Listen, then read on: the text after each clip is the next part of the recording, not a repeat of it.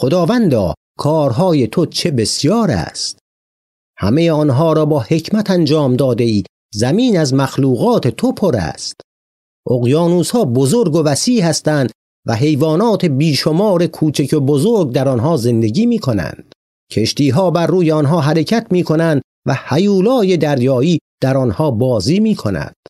همه آنها محتاج تو هستند تا روزی آنها را بدهی. هر آنچه تو به آنها می دهی آنها جمع می نمایند.